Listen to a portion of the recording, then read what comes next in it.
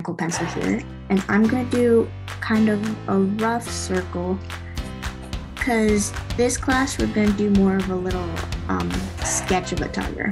So I'm just gonna go really lightly and do kind of these triangle shapes hovering above the circle for the ears. Just like that. And then I'll go in and kind of in the middle of the face right here, I'll do like the start of a nose. And it's gonna look a lot like a cat in the beginning, but that's okay because tigers are big cats. So, so now that we have this, we're just gonna go ahead and do one line down the middle, and that's gonna be the start of the mouth. And then we'll connect two lines like that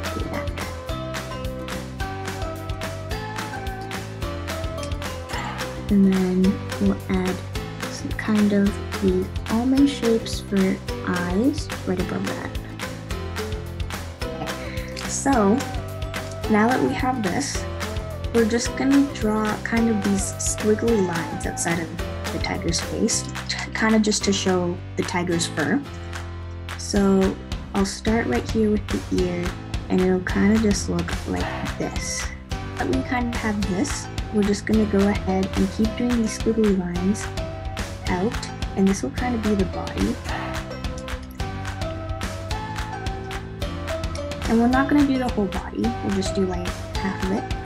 And then from this squiggly line, we'll kind of go down.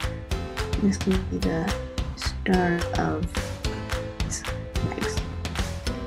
So I'm gonna start with kind of like the the snout area.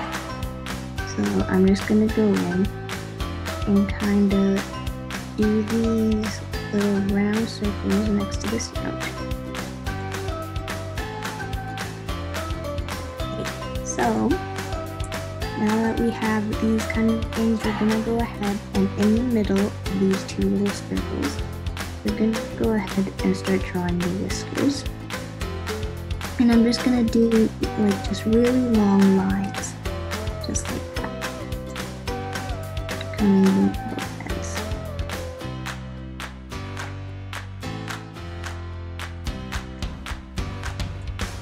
And now that we have this, I'm actually gonna add on to the mouth of our tiger. I kind of connected to these two little circles I drew before. And then I'm gonna do like a little semicircle like that. And it kind of looks like an umbrella. Now that we have this, I'm just gonna go in and draw two little triangles, and this will be the tiger's fangs or teeth, you could say. Next, we're gonna wanna go in and add the stripes of the tiger. So I'm just gonna start like right here, I guess you could say in the tiger's forehead, and kind of just do the same little squiggly lines as before, except in more of a pattern kind of like this. And I'll just add, and I won't do the whole face, I'm just gonna start the lines right here, and then I'll keep going down the tiger's body. So a little more squiggly lines right here.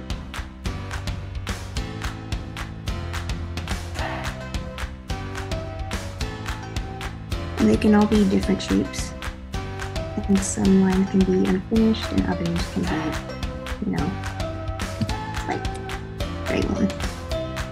Okay, so here I kind of have my tiger's body and I'm just gonna go in since I used pencil and erase this circle I made for the tiger's head. And if you guys didn't use pencil, you use pen, that is completely fine. Um, you can just cover them up with more of the little stripes for the tiger or you could leave it. It's like a personal choice. So now that we have a tiger that looks a little bit more like a tiger, I'm gonna go in and draw the eyes because It kind of just looks like a creepy one right now with none.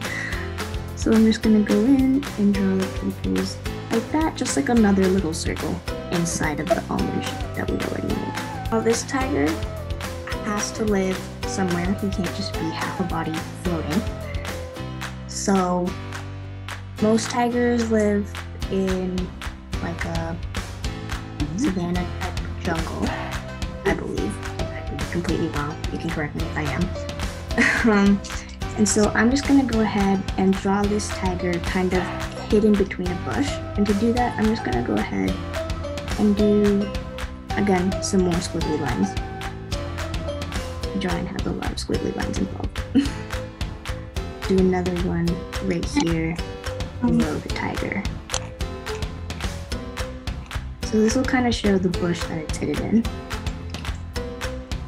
And we can add some extra detail to this bush by kind of showing some separate branches in between. So just by kind of drawing some lines um, that are parallel to each other, you know, in no specific order, kind of like this. Well, that looks great! Adding more to kind of the background for this tiger, I'm gonna go ahead and draw kind of this tree right here behind him. And I'm to draw it kind of really, really lightly. Just so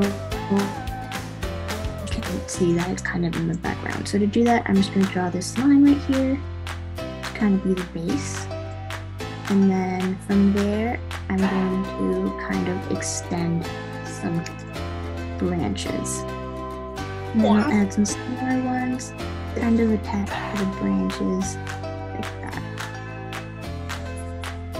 it looks a little fuller. Oh, that's great! That's awesome.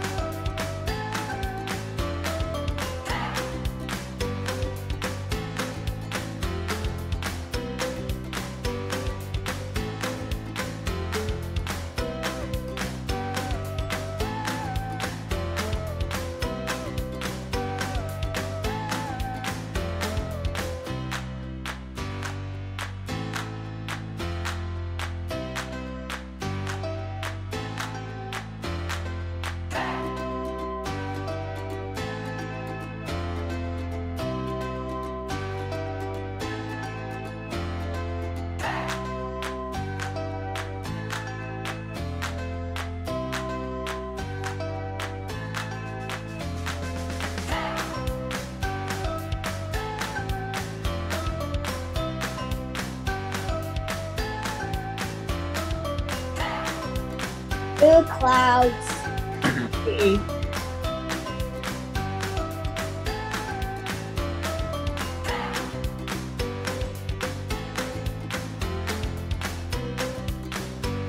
Oh, that's awesome. I'm just like, I like how you added the clouds. Anybody can do it together. Okay.